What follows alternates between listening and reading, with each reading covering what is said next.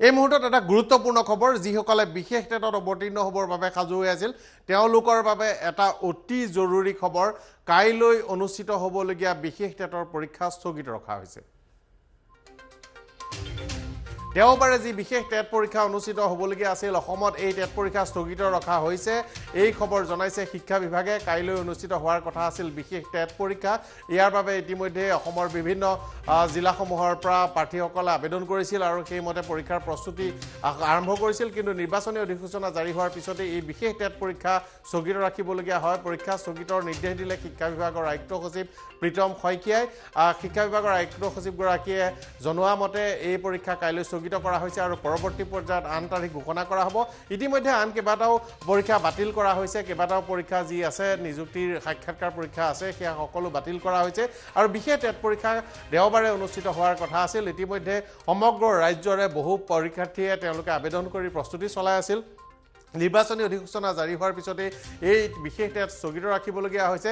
কিয়নো নিৰ্বাচন ঘোষণাৰ লগে লগে আদৰ্শ আচৰণবিধি বলবৎ হ'ল আৰু এই যি আদৰ্শ আচৰণবিধি বলবৎ হ'ল সেই অনুসৰি চৰকাৰে কোনো নিযুক্তি প্ৰক্ৰিয়া চলাব নোৱাৰে কোনো ট্ৰেন্সফাৰ পোষ্টিং ইত্যাদি কৰিব নোৱাৰে সেয়েহে এই আওতাৰ ভিতৰত পৰা বুলি এই টেট পৰীক্ষা কাইলৈ পৰীক্ষা পাতিবলৈ অনুমোদন নজনালে। আমি জানিব পৰা মতে শিক্ষা বিভাগে নিৰ্বাচন আয়োগৰ লগত যোগাযোগ কৰিছিল নিৰ্বাচন বিভাগৰ লগত যোগাযোগ কৰিছিল আৰু তেওঁলোকে অনুৰোধ জনাইছিল টেট পৰীক্ষা যিহেতু এটা নিযুক্তিৰ পৰীক্ষা নহয় এইটো এটা কোৱালিফাইং এক্সামিনেশ্যন অৰ্থাৎ ইয়াৰ দ্বাৰা যোগ্যতা আহৰণ কৰা হয় চাকৰিৰ বাবে কিন্তু ইয়াত উত্তীৰ্ণ হ'লেই চাকৰি নাপায় সেয়েহে পৰীক্ষাটো পাতিব পাৰি নেকি অনুমোদন জনাইছিল।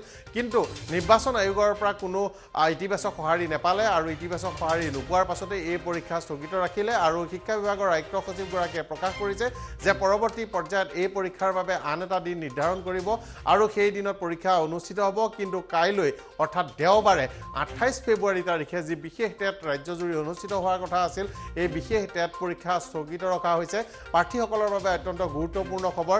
এইকেইদিনত অনুষ্ঠিত হ'বলগীয়া কেইবাটাও পৰীক্ষা ইতিমধ্যে বাতিল কৰা হৈছে স্থগিত কৰা হৈছে।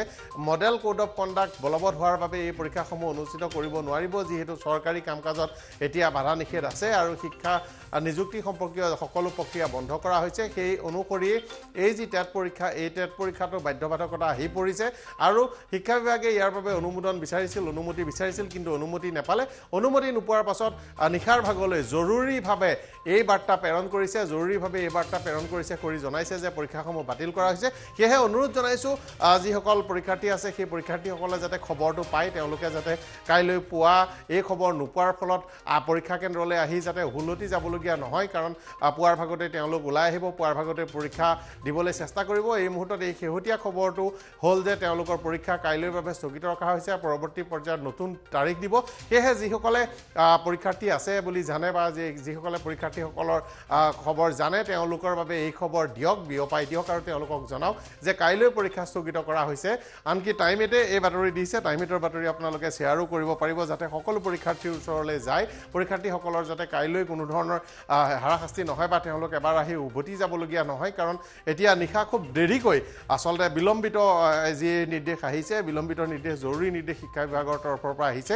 কিয়নো শিক্ষা বিভাগে অপেক্ষা কৰিছিল আশা কৰিছিল যে তেওঁলোকে নিৰ্বাচন আয়োগৰ পৰা ইয়াৰ ইতিবাচক সঁহাৰি পাব। অৰ্থাৎ এই টেট পৰীক্ষা বিশেষ টেট পৰীক্ষা পাতিবৰ বাবে অনুমতি পাব কিন্তু তেওঁলোকে অনুমতি নাপালে। আৰু ইতিমধ্যে যিহেতু নিশা আৰম্ভ হ'ল সন্ধিয়া হৈ গ'ল। গতিকে তেওঁলোকে জৰুৰী বাৰ্তা যোগে সংবাদ মাধ্যমলৈ প্ৰেৰণ কৰা টাইমেটলৈ প্ৰেৰণ কৰা বাৰ্তাৰ যোগেদি তেওঁলোকে এই কথা জনাইছে যে এই পৰীক্ষা স্থগিত ৰখা হৈছে পৰৱৰ্তী পৰ্যায়ত নতুন তাৰিখ দিব। সেয়েহে পৰীক্ষাৰ্থীসকলে এই খবৰ এতিয়া পোৱা দৰকাৰ। সকলোৱে আপোনালোক সকলোৱে যদি কোনো পৰীক্ষাৰ্থী চিনি পায় বা তেওঁলোকৰ বাবে এই তথ্য দিয়ক খবৰ দিয়ক যাতে পুৱাই তেওঁলোকে পৰীক্ষা কেন্দ্ৰলৈ বুলি ওলাই আহি যাতে কোনো ধৰণৰ অসুবিধাত পৰিব নালাগে। তেওঁলোকৰ পৰীক্ষা স্থগিত ৰখা হৈছে আৰু এই কথা শিক্ষা বিভাগৰ আয়ুক্ত সচিব প্ৰীতম শইকীয়াই জনাইছে।